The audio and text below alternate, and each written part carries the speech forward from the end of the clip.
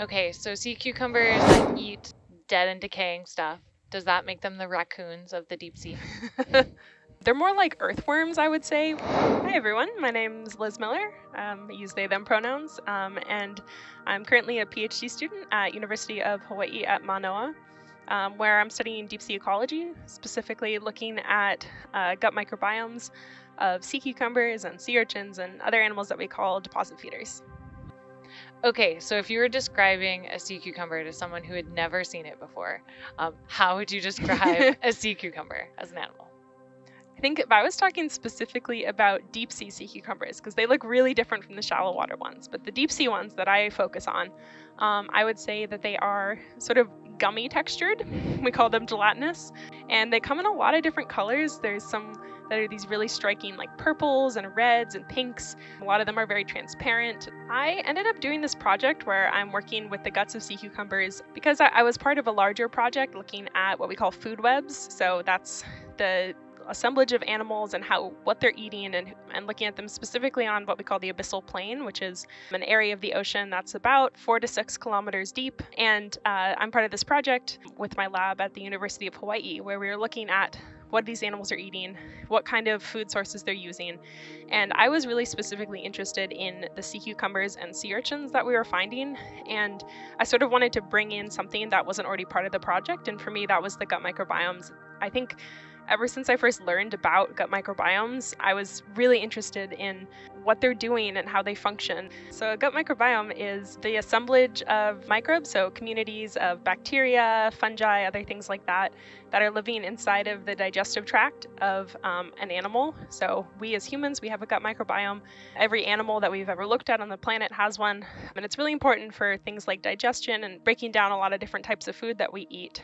It's especially important for animals that eat things that are really hard for them to break down, that they don't have the ability, the enzymes to break down. So there's been a little bit of work done on sea cucumber gut microbiomes, but what we know is that their gut microbiomes differ from what you find in their food. So if they eat sediment, um, we call them deposit feeders. That means they just eat the mud that surrounds them. And if you look at the bacterial communities in the mud versus in their guts, they're different. And so that suggests that there is some sort of selective process happening and that there's a specialized community that's just living in the guts. So on these ROV dives, we've been looking at a lot of the different types of life that we can find um, on these seamount areas. But one of the things that we've been collecting has been sea cucumbers and sea urchins. Um, and that's specifically for the work that I'm going to be doing on their gut microbiomes.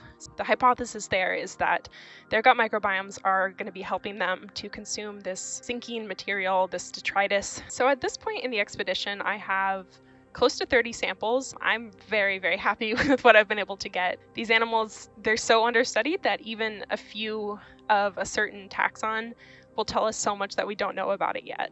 Once the ROV is back on the deck, and the ROV pilots and engineers tell us we're okay to go. We collect the animals from the various buckets and boxes that it's in, um, stick them in the fridge so that they stay cold. Then, once I back in the lab, I'll take my first sample. Usually, the first thing I'll do is I'll weigh it, and then I'll pass it over to our really great science manager. And what she'll do is take a nice photo of it with a ruler for scale so that I can look back later and get a length measurement on whatever the animal is. And then after that, I'll start my dissection. So I try to create a relatively clean clean, sterile environment, and I'll do it on ice again to keep it cold. Uh, I usually cut it open along the body, trying to be careful not to pierce the, the gut tract that's in there.